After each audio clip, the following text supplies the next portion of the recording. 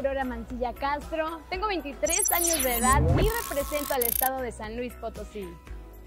Lo que más me gusta de ser mexicana, sin duda alguna, es la raíz que conlleva un buen mexicano, la cultura, la gastronomía. Para mí el significado de una mujer empoderada es una mujer que no depende de ninguna persona, ya sea X género, es una mujer que se vale por sí mismo y que día con día se levanta para realizar sus sueños, para ser emprendedora y para luchar por la vida.